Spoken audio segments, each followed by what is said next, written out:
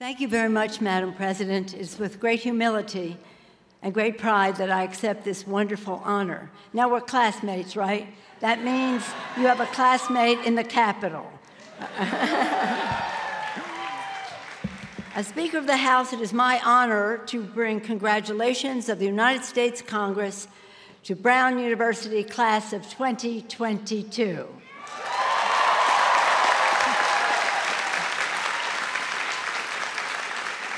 Thank you, Madam President. That has a nice ring to it. Thank you, President Christina Paxson and Brown Corporation for your kind words and for your leadership of this historic institution, a pillar of academic excellence for two and a half centuries. Let us salute the wonderful orators, Catlin, Ali, and Michelle. Weren't they wonderful, our student speakers? Ali and Catlin, you reminded me of a saying that we have uh, when you said let. We have an expression love means let other versions exist. and Michelle, uh, thank you so much. I'm going to try to pause, but I'm standing between this group, their parties, their future, so I'll, I'll compromise there somewhere. Thank you for inspiring us, though, to our class orators with your reflections on the importance of family and friendship and embracing community and finding purpose, not only here at Brown, but beyond. I'm deeply grateful to be honored to receive this honor degree from Brown because of the respect I have for the institution, the university, as a prestigious global leader of education. I myself am grateful to and honored to receive because I would have loved to participate in the open curriculum.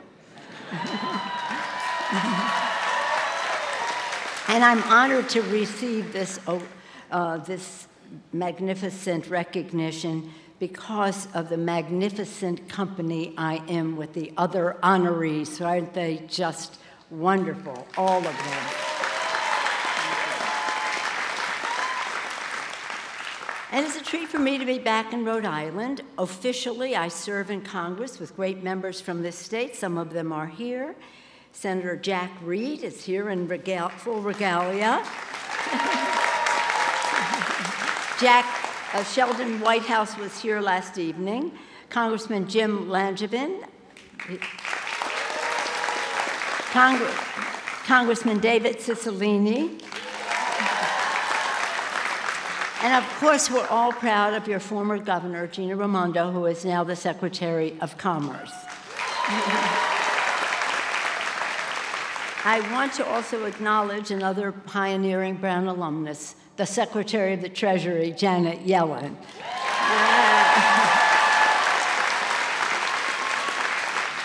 That's officially. Personally, I'm happy to be here because my grandparents met in Pawtucket, Rhode Island. and my close, one of my closest college friends, Martha Bonanno, lived here in Providence. Her brother-in-law, Vinny Bonanno, is here today. Uh, a city she always told me was heaven on earth. You be the judge. it's lovely, no question. Graduates, today is your day of triumph. This ceremony is the culmination of your years of hard work, long hours and late nights at the Rock and the SciLi to complete your extensive studies. And don't forget the remarkable bravery to endure the departure of your beloved, if not befuddling, lamp bear statue, Blueno.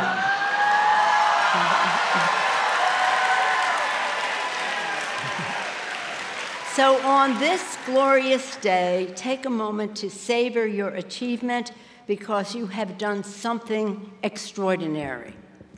And you did this with the support of your adoring family and friends, strengthened by their love, wisdom, and encouragement. Let's give them a big hand to your families. You can stand up for that. for the family.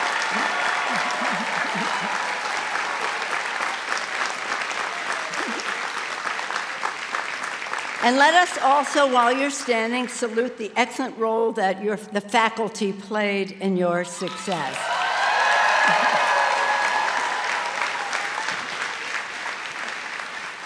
Today, the class of 2022 joins the ranks of esteemed alumni who have made a difference in our nation and in the world, and some of them are here today. Indeed, Brown is the proud alma mater of aforementioned David Cicilline, who is right now a champion in the fight against gun violence in our country.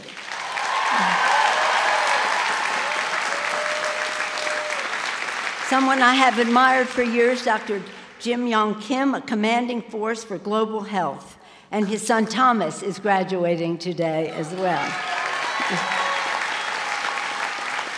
And they tell me, I don't know, but they tell me that even the top salesman at the Dunder Mifflin Paper Company might be here today. I also want to acknowledge a great Brown supporter. I've been hearing about Brown from decades for him, Stephen Robert, a former chancellor who has been a great friend of mine.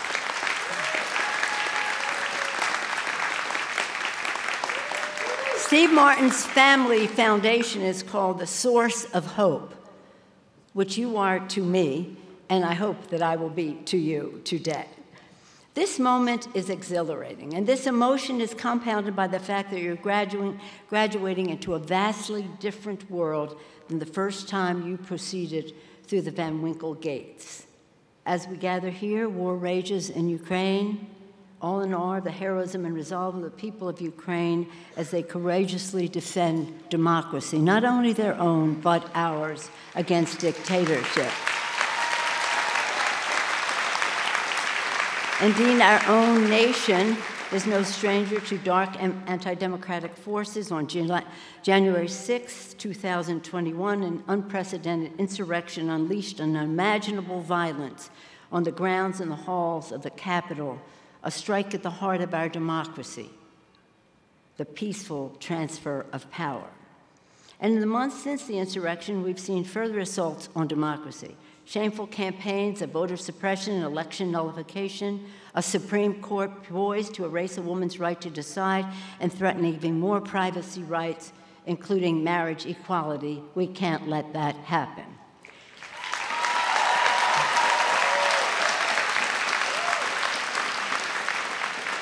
And sadly, in just the last two weeks, two senseless mass shootings, children in their schools, families in their communities. This, in addition to countless deadly attacks rooted in racism, anti Semitism, Islamophobia, and white supremacy. And facing adversity not seen in a century with a global pandemic, you have shown extraordinary bravery and resilience. Amid the darkness, it would be easy to descend into apathy or despair, but we can't. We can't. But we know this hope remains democracy's most powerful weapon against oppression, against cynicism, against hatred. When I had the great privilege of visiting Kiev a month ago, we saw firsthand the hope in the eyes of the Ukrainian people as they defied the odds against a more powerful and brutal foe. In a similar spirit, here at home, our nation has constantly been improved by our hope for the future. We should have hope because we believe in America. The vision of our founders to put forth an experiment in democracy, the faith and optimism of immigrants to come here and search, and the optimism to come here in search of a better life, the dreams of activists to expand the meaning of freedom. People ask me quite frequently, Where is hope? And I say, Hope is where it always has been sitting there right between faith and charity. Faith, hope, and charity. If you believe, as Honorary Tish said, in goodness, if you believe in goodness, faith in charity, in goodness, that gives you hope. It should. And in this moment, our nation and the world will need you to carry on this vital tradition. Indeed, as my dear friend and fellow honorary Brown alumnus, John Lewis. He was so proud of getting that award, as am I. John Lewis wrote Democracy is not a state, it is an act, and each generation must do its part. The poetry.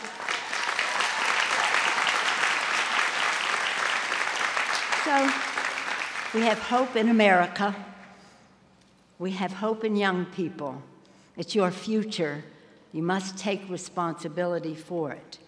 And another thing I say when people ask me about hope, in addition to America and young people, our future, I believe that there is hope in the arts because I believe they are unifying for our country.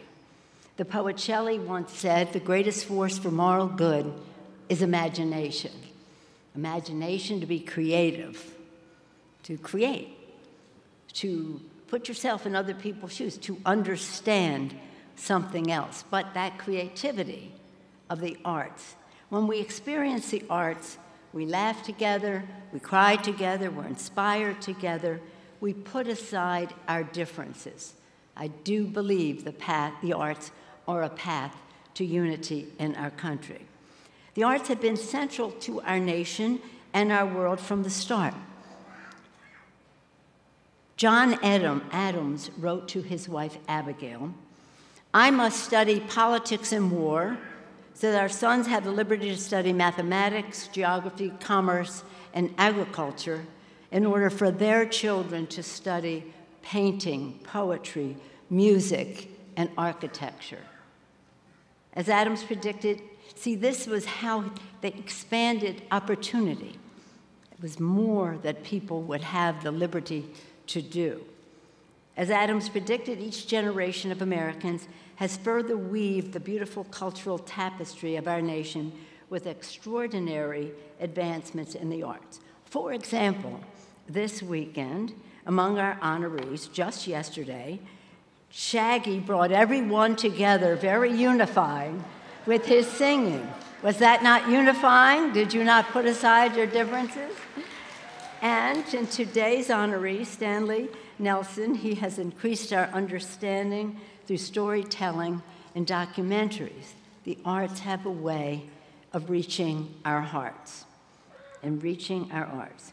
And poetry has also attracted us to science. I know we have the arts and sciences and the arts and natural sciences awards here.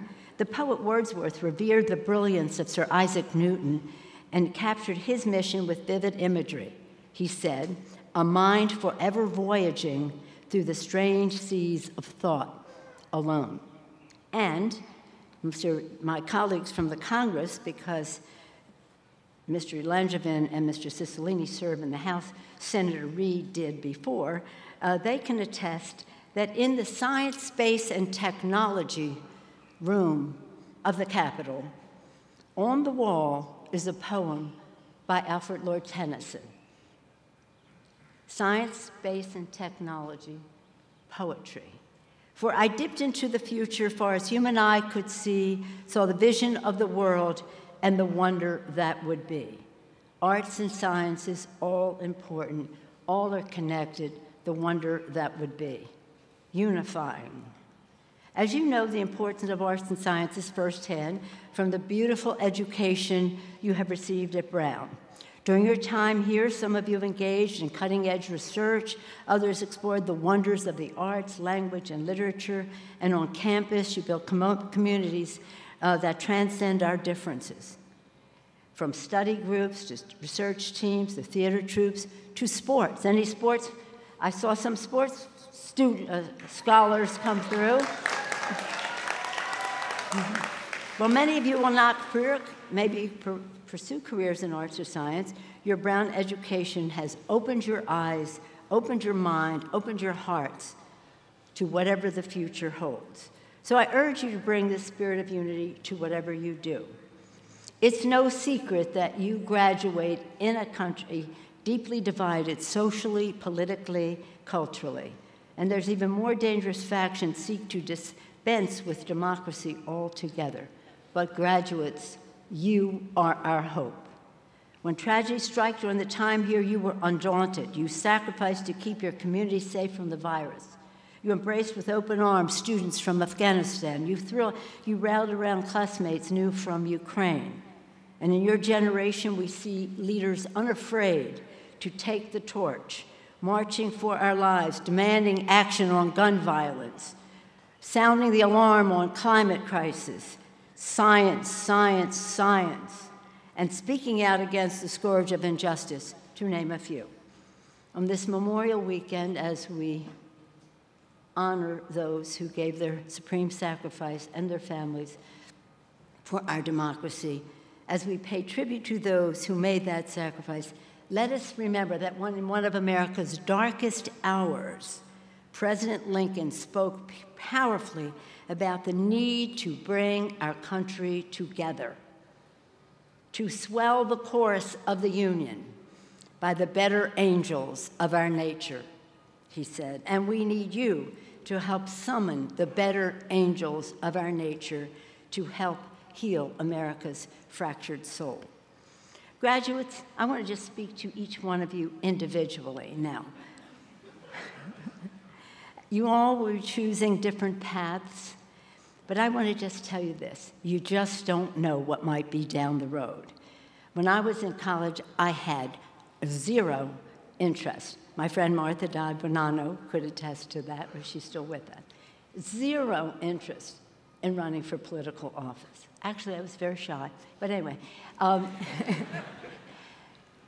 but one thing and another, the opportunity presented itself.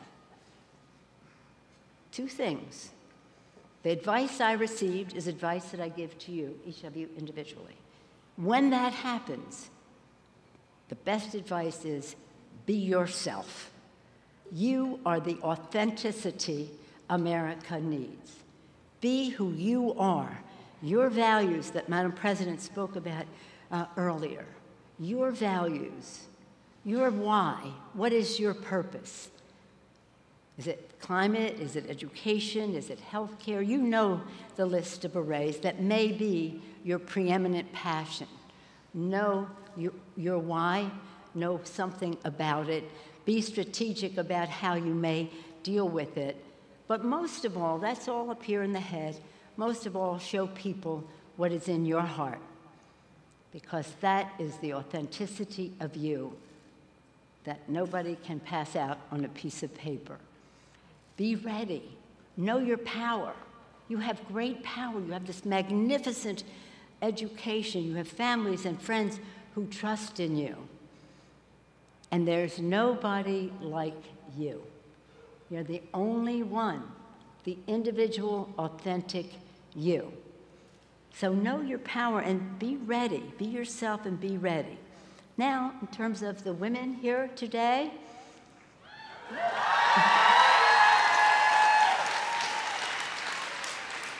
with all the respect in the world for everyone who is here today, there is nothing more wholesome for our country, for our politics, for so much of our existence than the fuller participation of women in leadership and in all of that.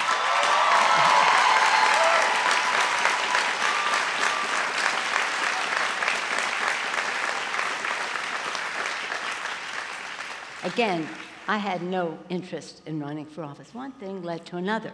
Actually, when I did, four of my children were already in college. One was going to be a senior in high school. And I said to her, This is all new to us, but I've been at mommy, mommy has been asked to run for Congress. And uh, I would rather it be another year because you'd then be in college. But uh, I love my life. I don't care about running for Congress if you want me to stay home. To which my darling daughter, who was 16 at the time, said, Alexandra, she said, uh, Mother, mother, mommy, mother, get a life. I said, I had never heard this. This was 30 years ago. I had never heard the expression before. I told her, you know, I'd be gone from like Monday to Thursday. And then she said, What teenage girl would not want her mother out of the house for three nights a week? so I got another life.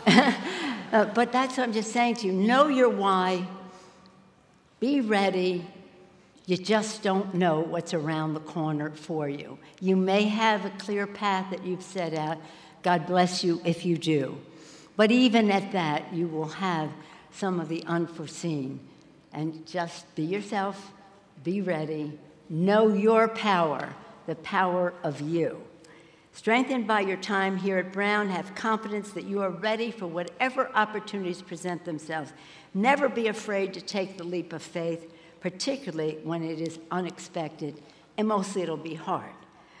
Graduates, you are among the, the very, very fortunate few to be blessed with a Brown education.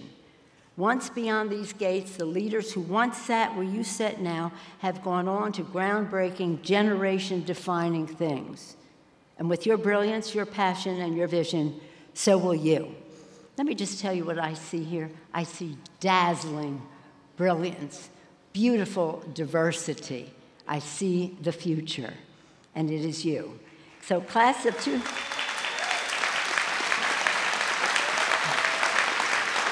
So, class of 2022, go forward with courage to build unity and hold on to your hope. And always remember you have a classmate in the capital of the United States. On behalf of the United States Congress, for today, congratulations. For tomorrow, good luck. And forever, ever true to Brown. God bless you. God bless America. Thank you so much.